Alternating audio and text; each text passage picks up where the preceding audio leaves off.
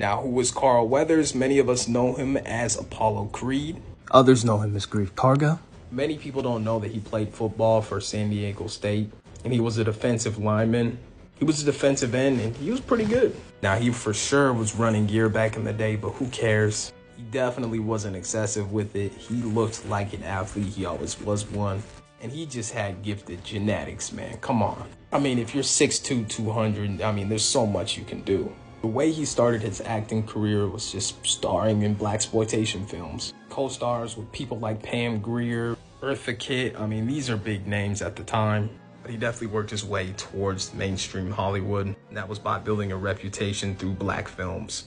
The funniest part of his career was when he was reading for the role of Apollo Creed and Sylvester Stallone was there at the table read. And he pretty much criticized the way that Sylvester was acting. And he said, if you give me a real actor, you know, I could actually make something happen. This, of course, got casting intrigue, and the rest is history.